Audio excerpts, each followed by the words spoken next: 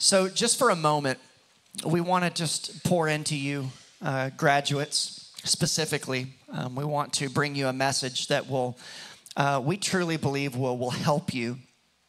Um, but this message will help all of us because uh, how many of you know, you graduates, how many, how many people have asked you recently, you know, what's your plan, right? Yeah. Well, don't be discouraged if you don't have an answer to that because you know you're probably 17 18 19 years old somewhere in that range.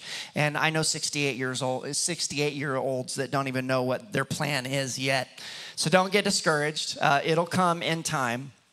But we want to talk to you today just about the importance of decisions and how important it is not to really know the plan, but more than anything else to know God's path knowing God's path is far more important than really knowing what the plan is.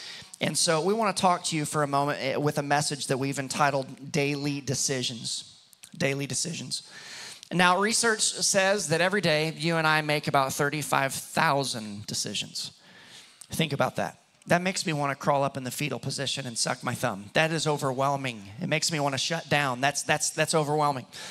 But if you, if you think about the importance of those decisions that we make every single day, just think about where you're at right now in your life. Think about where you live, maybe if you're married, who you married, who you're dating. Think about every aspect of your life. And if you think about it, it's really a product or a result of all of the many decisions, those thousands of decisions that you've made up to this point. You are where you are, you are who you are and you're experiencing it with the person or people you're experiencing this life with because of decisions. Decisions are crucial. Decisions will make or break your journey. How many of you guys would agree by a show of hands? Decisions are important, right? I'll take a hand clap too. That works too, right? Decisions are important you're probably looking back right now and you're, you're, you're thinking back and you have some regrets, right? About some decisions that you made. We all do, right? But what's important is God, what, what, what decisions do I need to make on a daily basis? They're going to chart my course so that I'll end up where you want me to be. I, I love Psalm 37 and 23. In fact, I've been camping out on this verse for quite a long time now, for weeks and weeks and weeks. And I just love what it says. It says, in, in chapter 37, verse 23, it says, The Lord directs the steps, this is conditional, of whom? The godly. The Lord directs the steps of the godly. And it says that He delights in every detail of their lives. How many of y'all have been guilty of thinking, man, God's too busy for me? He's got too much going on. Raise your hand. Come on, raise your hand. You're like, no, God's got so much going on. He doesn't have time for me. That, that is foolishness. God is so much bigger than we could ever realize or ever imagine. And, and what's even better than that, as big as He is, what's even better than that is, man, He is like obsessed with every little detail of your life. God is infatuated with you. Don't ever let the enemy sow these seeds, these, these, these lies in your mind and convince you that God doesn't have time for you or that God is unaware of what you're going through or it doesn't matter to him. It matters. You matter to God. And every decision that we make matters in conjunction to the course of our lives. Don't make the mistake of saying, "Man, I'm just I'm just waiting for God to show me what his purpose is." Because God's purpose isn't, it's, it's, it's not a, a destination. We think it is. We think it's uh, the arrival of a, of a particular point in our lives when we accomplish or achieve something specific, something really big. Or we become somebody that, you know, we, we thought this is who God wants me to be. It's, it's not that destination point. It's, it's today, right here, right now, taking the right steps that are ordered by Him. How many of you guys know paths are important? Have you ever been to the mountains before? You head up a path and you end up where you did not intend on going. Paths are, paths are important. And with every decision we make, it alters our path. And so, what we have to do is get really good at recognizing am I on God's path or am I on the path of my plans? Am I taking steps in the direction that I feel is best for my life, or am I taking steps that is best for what God believes is best for my life? Man, if you will get this right now, no matter what your age, no matter where you're at, in what season or situation you're in, no matter where you're at in your life, if you will get this, I'm telling you, we look back and, and we are blown away and amazed at how good God has been to us because He has ordered our steps. It's about daily surrender. This is the key right here. This is the secret sauce of it all. Your life is not your own. I know that doesn't sound exciting because you're like, but I want this, I want this, I want this, I want that, I want this, I want that. Man, God created you. He put desires and, and wants inside. He knows exactly what you want. He knows exactly what you desire. He put those things inside of you. And you'll see the most incredible things pan out in your life when you follow his path, step by step by step. The steps of a righteous person are ordered, directed by God. So get in step with him. We're going to talk about that over this short time that we have together, but get in step with God. Make sure that you're on God's path. So, if you're taking notes today, the title of today's message is simply that Daily Decisions. They're so important, regardless of who you are, what age you are, decisions matter. This morning, I want to take you to a very familiar passage, one that you can quote, no doubt. One that will be on many gifts that these grads are given, one that we talk about all the time, but I want to take you to it anyway. Jeremiah 29 and 11, quote it with me. It says this For I know the plans, say plans. I have, say I. Who's speaking in this in this verse right here? Come on, good. You're you can preach it. God says, I have plans for you. What type of plans? These plans are good. They're not for disaster, to give you a future and a hope. Now, we talked about this passage not too long ago, and we kind of helped you to understand what was going on. But for those of you who maybe don't understand, I'm going to take you back. So, this passage of scripture is a promise, and this promise was given to the children of Israel after they had really blew it. After they had made a lot of mistakes, and actually, at this moment, they are in exile. Basically, time out, if you will, for 70 years. How many know that there are consequences for our poor decisions? Only a few of us, right? But the rest of you, you're gonna figure uh, that out. Figure okay. It out. You'll figure it out. the fact is, when we make a bad choice, a bad decision, there are consequences that follow. And so the children of Israel, they were in the middle of that consequence time. God had sent them into exile, but what he wanted them to understand, like any good, godly parent would, is I still love you. And even though you made some bad decisions, I still have a plan for you. And my plan isn't to destroy you, even though you feel like right now, and some of you, maybe even in your own lives right now, have made some poor choices and you feel like your life is a wreck. And you don't know that there's any way that God could even turn it around. But the fact is, this promise is for you as well. That God has plans that are good and not evil to give you a future and a hope. But here's what I want you to see. So often we look at this verse and we just quote the promise. We're just like, God has good plans. And you're right, He does. But those plans won't come to pass if you just try to hold on to that promise. You see, I would say that a lot of you could quote verse 11, but here's my question Can you quote verses 12 through 14 without putting it on the screen? Most of us can't. Why? Because we know the promise, but you know the only way you get to the promise is if you actually do what God says to do in verses 12, 13, and 14. So this morning, let's go there. Jeremiah Chapter 29, I'm going to start in verse 12, and it says this When you call on me, when you come and you pray to me, I'll listen. When you come looking for me, you'll find me. Yes, when you get serious, say serious. When you get serious about finding me, check this out, and want it more than anything else. Do you want God more than anything else?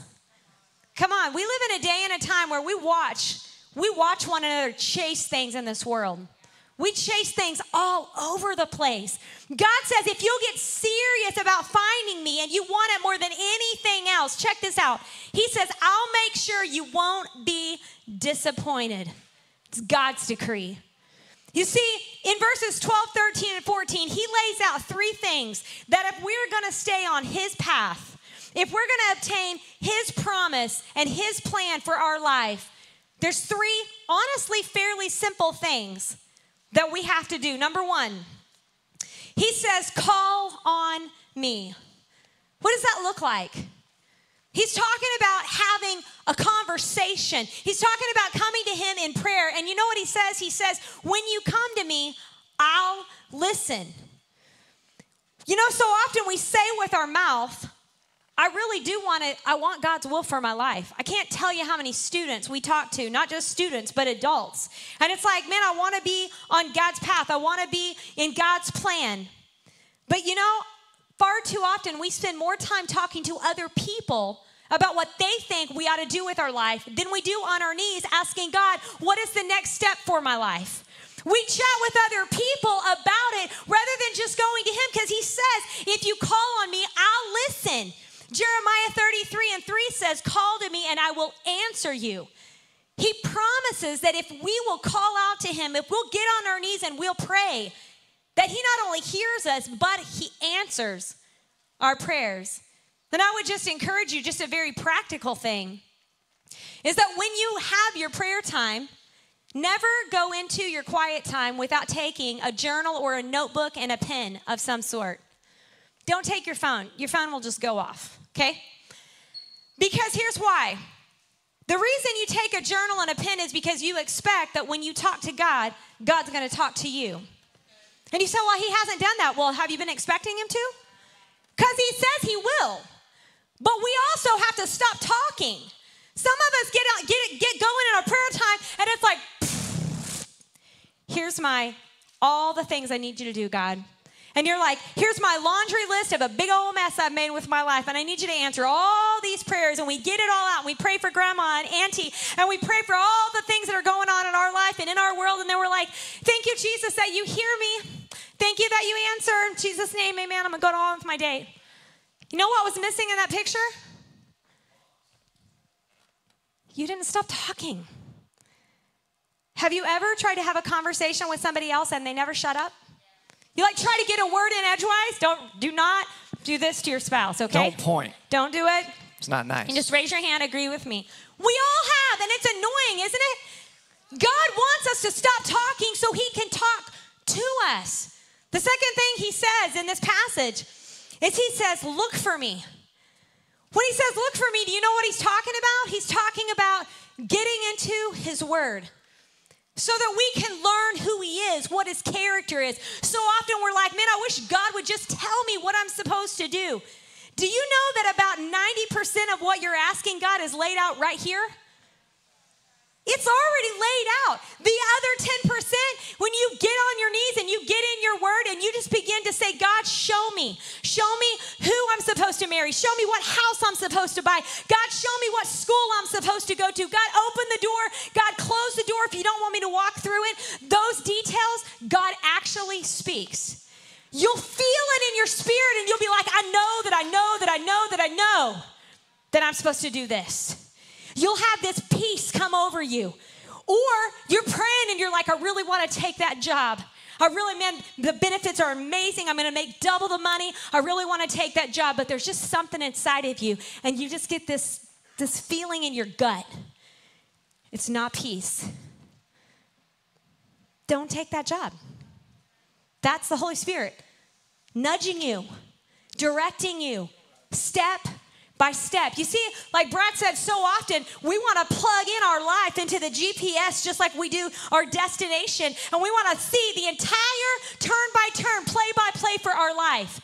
And God said, Hey, I'm going to give you one turn at a time. I'm not going to give you the entire thing. Why? Because you can't handle it. You'd say no and go the other direction. Because God's plans for you are so big. I love this passage of scripture in Isaiah 55 and 8. It says, My thoughts are nothing like your thoughts, says the Lord. That's- My ways are far beyond anything you can even imagine. God's plan is so much bigger than we can even imagine. But listen, we're never going to get the entire thing laid out. He wants you to get so close to Him that you can hear His voice, that you can sense it inside of your heart, turn by turn by turn. And you begin to pray those prayers God, if you don't want me to walk through that door, shut it. And when you shut it, we don't try to kick it in. Anybody ever tried to kick in a door? Come on. Brad and I have. You think we wanted to plant a church in the middle of a field? Big fat no. Did not. Tried to kick in every door for another place to be, another building to be. It didn't matter. God said, No, I won't open any of those doors. I'm gonna make it clear to you what my plan is. Guys, we make it so complicated when God is saying, It's not that hard. Settle in, spend time with me, get on your face and pray. I'll cover you with my peace. And all you need to do is just wait for me to say, Take that turn. Take that turn. How many of you love just watching when you're driving? You don't want to take a wrong turn because it wastes your time. Do you agree? Brad and I last night, we were supposed to meet someone in Oklahoma City at 2 o'clock. Easy little drive. It was a get pretty- home by. Pretty good plan. It was a good plan. We are going to get back by 6 o'clock, plenty of time to be rested up for today. And plans changed. The people we were meeting were coming from Texas. They broke down in Texas. Like, this is awesome. We're like, we're going to Texas. So we kind of take a detour on to Texas. We rolled in an hour and a half before our alarm goes off to get up this morning. But last night, as we were driving and we were thinking about this message and we were going over it and trying really hard not to complain, right? And we didn't. So I kept my mouth full of pretzels the he did. entire He ate the whole time. It's like I am not going to complain. We literally told ourselves, you know, the family we were meeting, they didn't know Jesus. And they're the ones that had a breakdown, and we were able to witness to them. And yeah, did it take us hours out of our way? We were able to pray with them, witness to them, share our services with them. And we were like, who knows what God's going to do? So what if we drove all night? Maybe they're going to receive Jesus. I don't know. But you know, coming home, I had the GPS on my phone. And turn by turn, I mean, I'm staring at it. When it got down to five miles, I mean, I'm watching it. Why? Because I do not want to waste time with a wrong turn. Guys, some of us need to get that serious about our life. Staring into the word of God, being on our knees every single morning saying, God, I don't want to take, I don't want to take a wrong turn. I don't want to waste time. I don't want to make those bad decisions. But you know what it really takes, and it's the final thing that you see in this verse it takes getting serious about going after God. Not just lip service, not just saying, I want to know God's plan for my life, not just saying, hey, make it easy. You know what? How many times do we hear people say, I want to be healthy? How many times do we hear people say, like, I want to get fit or I want to get my finances? I would love to be out of debt. But we don't do the hard things to get to that place. How many times do we hear people say, you know what? I really, I need to surround myself with better friends because I really want to get in the right place with God. And yet we don't do that. We keep going out on Friday night and going out on Saturday night with the people who are dragging us down. Listen to me. We have to get serious about going after God if you want to be on His path and His plan and His purpose. And it doesn't make, it's really not that complicated. Here's what it takes every single day, predetermining I'm going to call out to you, Lord. I'm going to look for you. I'm going to search for you, God, with all of my heart in your word. And I'm going to be serious every day. Every day, I'm going to be serious because you know what will happen? You will just naturally turn by turn by turn. God says, go here, you go there. That's not what that was, not even what I thought. And yet you end up someplace, just like last night. No intention to go to Texas, but we went to Texas. Why? That's where God had us to go. God has a plan and God has a purpose. Question is, are you serious about aligning your life with it? Some of you are saying, God, what's, what's next? And God's saying, I'm not going to tell you what's next and tell you what do what I told you to do right now. I'm not going to tell you what's next. You're not even being beetle, you're not even being obedient right now. It's like my kids. If I ask my kids to do something, hey, dude, clean up your room, take out the trash, go mow the lawn. If they don't do the first thing, why the heck would I bless them with something? I wouldn't. You wouldn't. God said, I'm not going to tell you what's next. Be obedient with what I said right now. Some of you know exactly what God has told you to do, and some of you know God's told you to stop doing some things so that you can have what's next. Are you serious about it? The problem,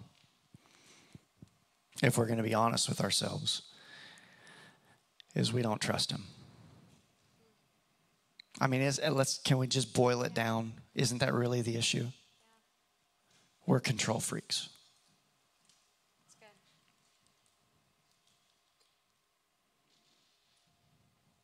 That's the issue.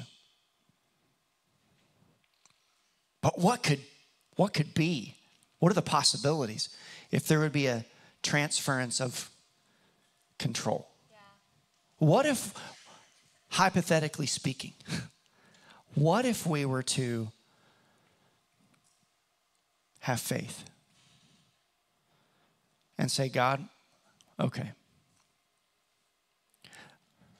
I'm going to give this to you. I'm going to let you lead the way on the map. I'm going to let you take me turn by turn. I'm going to trust you. I'm not going to look ahead. I'm not going to get caught up in the what will be or what could be or what's coming down the road. I'm going to just trust you for a while. What are the possibilities? You know, I was born a, a, a dreamer. I'm, I am a dreamer. I spent most of my grade school years dreaming. And my teachers had a problem with that. For whatever reason, I don't know why. but they didn't like it. And I would I would think so far ahead and create these possible realities for my life. That's a good quality to begin with the end in mind. But as I've come to Christ and I've matured in my relationship with God, I've learned some things. And it's not that you can't dream. It's that you just have to take a step back and say, okay, like you've told me some things, you've shown me some things about the future, but it's that in between part that Misti was talking about. I, I really don't know what that looks like. And it's kind of freaking me out. But if you'll, if you'll trust Him by the day, by the step, I'm telling you, before you realize that you'll look back on your life and you'll say, I cannot believe what the Lord has done with my life, step by step by step. I could have never imagined. I'm a dreamer. I could have never dreamed this. I, could have never in a thousand years dreamed what God would do in the middle of a pasture in northeast Oklahoma. This is his dream. But don't miss it. Hold on, don't don't don't miss it. Don't miss it. We don't we don't trust him. We don't trust him. The moment you begin to trust him and that transference of control and power happens and you say, God, this is it. This is the secret sauce. Are you taking notes? Not my life, but yours. This is not my life. This is yours. You have been bought, you have been purchased with the blood of Jesus Christ. You belong to Jesus. You know, in football, how many of you guys, dudes, how many of you played uh, football in high school? And, and, this is vintage football stuff. And we had the shirt, said property of. Remember that? Remember that? We all have that shirt. And we're property of Jesus. He, he paid for us on the cross. And when you said yes to Jesus, hear me, this is the most beautiful, most freeing thing ever. When you said yes to Him, your life became brand new. And he said, All right, it's time to begin. But some of you, even after you came to Christ, you've been spending so much time trying to veer off on a path called your plans. Stop. Yeah. Stop it. He has so much more for you, but you have to start back here and say, All right, Lord, today, today, daily decisions. Today, before I get out of bed, I'm go- you can get on YouVersion and I'm, I'm going to read the word. Before my feet hit the floor, I'm going to put you first. At the top of my day, God, I'm going to spend time in, in, in prayer and I'm going to talk to you and I'm going to be quiet and I'm going to listen to you and I'm going to spend time in worship and I'm going to make sure my, my family's in church and I'm going to be connected in life groups and I'm going to be volunteering uh, uh, and I'm going to be serving. I'm going to be giving and investing in the kingdom of God and I'm going to be sharing my faith on social media and, and at work and at school. And, and you're just daily, daily, daily just taking these steps and just, God, I want to please you here and I want to please you there. Want to please you here. I want to please you there. It's when you're on your phone, it's choosing to click this or not click that or swipe or don't swipe. It's, it's, it's in every single decision that you make. That is God's purpose. Stop thinking it's this big, huge thing. It is, but you're not going to get there unless you do the daily, the daily little right decisions. He blesses and directs the steps of those who are right with Him. Get right with Him, and He's gonna bless your steps and He's going to bless your path. Give Him praise today. Come on, God's worthy. There's so much there, guys. I hope you get it. I hope you get it. I hope you get it. Let me pray for you today. Father, in the powerful name of Jesus, we are so incredibly grateful that you have given each and every one of us a, a purpose and a path. You have plans for us, and they are good. But I pray that we would be cognizant, we would have enough wherewithal to see that there has to be a transference of control, to see, God, that, that, that you guide our steps, and it's, it's your path. Help us every day in the daily decisions to do what's right to position ourselves around the right people, go to the right places, and do the right things according to your word, knowing, God, that you will direct each and every one of our steps. That our lives would please you, and that Jesus, I pray that you would be glorified through our lives. That people would look at our lives and say that, that there's only one explanation. That's only because of Jesus. Only because of Jesus is that possible. Let us get it today, God. Truly. Let us walk your path with our daily decisions. Bless these graduates, we pray, Father God. Please help them to learn to obey you and to please you in everything. Guide their steps, and may your purpose come to pass in their lives. With heads bowed and eyes closed, the, the best decision out of the 35,000 decisions that you could make today would be the decision to make Jesus the Lord of your life and invite Him to, to have control in your heart. Then you might say, How do I know if I'm saved? Do you have a real and life changing relationship with Jesus that's contagious? I didn't ask if you had a, a, a fake understanding of religion. I'm asking if you have a real relationship with the Son of God. And is it so incredible that your life has changed and people see the change? Your family sees the change. And your life is so attractive because of the change that people want the Jesus that's inside of you. That's when you know you're saved. There's fruit, there's evidence. If you'd say to yourself today, I'm not saved there's nothing greater than to become a citizen of heaven, to, to become an adopted son or a daughter of the Most High God, to transfer control and say, Lord Jesus, come into my heart. Take control of my life. You can do that right now by asking God to forgive you of your sins. We're all sinners. We, we're, we've trespassed against God. And He is waiting to forgive you if you'll just say, God, I admit it. I'm a sinner. I'm sorry please forgive me. If you believe with all of your heart that Jesus really is the Son of God, believing in Him and confessing Him to be Lord of your life and giving Him control from this moment forward, you can be saved. So if you're watching online and you're making that decision today, I encourage you to comment below all in. If you're in this room, we're going to pray a prayer as a church family. I just want to encourage you right now to just raise your hand so I know who I'm praying with today. No one else is looking around. If that's you, just raise your hand and say, I want to know Jesus. Amen. I see your hand on my right. Anybody else? I see your hand up front. in the middle. I see your hand on my left, up in the middle. Four people giving their lives to Jesus. Anyone else today? You say, I want to know Jesus in a real way. Yes, Lord. Yes, Lord. Yes, Lord. Come on. Anybody else? Thank you. Five. I see your hand in the bleachers. Anyone else? Thank you, Father. Anyone else today? Lord, we love you. Thank you. Six. Amen. Thank you, God. Six people changing their eternal address. Thank you, Lord. Thank you, Father. We're going to pray with you. Those of you who courageously raised your hand, we're going to pray with you right now as a church family. Let's pray this prayer. Father, forgive me of my sins. Forgive me of my sins. Jesus is the Son of God. Jesus is the Son of God. It's only through him I can be saved. I can be saved. I confess Confess today today Jesus Christ to be Lord to be the and Savior Savior of my life. of my life.